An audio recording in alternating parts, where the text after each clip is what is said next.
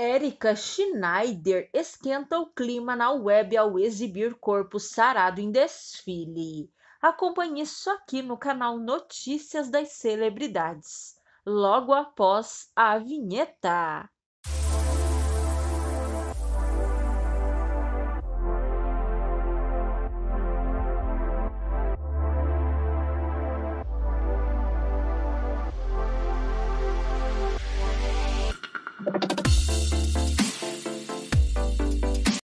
A dançarina e modelo Erika Schneider esquentou o clima na web ao compartilhar registros de sua fantasia usada no desfile da escola de samba Porto da Pedra no Carnaval Carioca.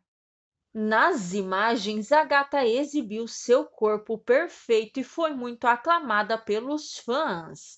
Que mulher maravilhosa! afirmou um seguidor. A Érica é uma das mulheres mais lindas desse país, disse outro fã. O que vocês acharam das fotos postadas por Érica Schneider e do corpo da gata? Comentem!